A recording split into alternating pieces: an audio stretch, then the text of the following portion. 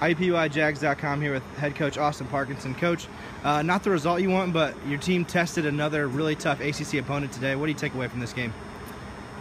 Well, uh, you know, I'm, I'm, proud of our kids' effort. I thought all semester long their effort's been there. They've been in every single game.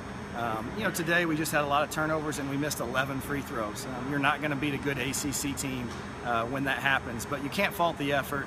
Uh, it's been a fun semester, and, and I think we're uh, we're looking forward to, to, to after break. Uh, across the line, Georgia Tech quite a bit taller than you guys, but you out rebounded them tonight. Um, you know, showed a lot of toughness in some some certain situations, just getting some big offensive rebounds, some big putbacks, especially from Akila and, and Shakira. Just talk about your team's toughness. Yeah, that was actually, the word you used was what we put on the board was toughness, and I thought the kids had that. I thought they really battled uh, on the offensive glass. Rebounding was a key. They're usually plus 14, so for us to out rebound them was big. Um, but at the end of the day, you know, their best player, number two, uh, really made some plays. I mean, 28 points. She was the leading scorer coming in, and we made life difficult for her. But man, she made some really nice basketball plays. Uh, eight and four going into Christmas time.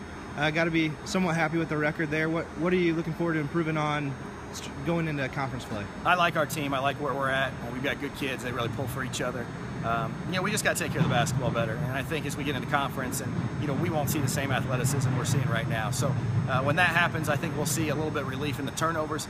Uh, but I like our defense, and I like some of the pieces that we have. So uh, it should be a fun second semester. Thanks, Coach. Thank you.